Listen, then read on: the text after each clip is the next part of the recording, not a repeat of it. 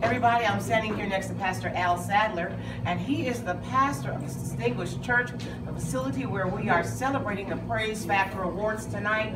But Pastor Sadler and I go all we go back to the 80s, I think, or in the 90s. So tell us how long you've been pastoring. Uh, 37 years, I believe. Yes, because we've been in, in Atlanta about 38 years, and we met you quite a few years ago because we have a lot of mutual friends. But you have a you have a, a heart, Pastor, for evangelism. You have a heart to reach the lost. You have a heart for evangelism. Tell us about that.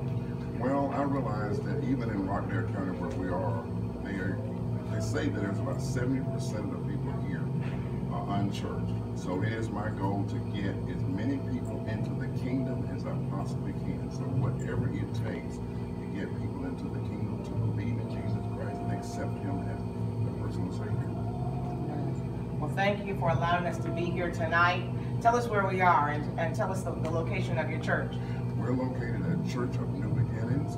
We're located at 3180 Georgia Highway 20 South in Conyers, Georgia.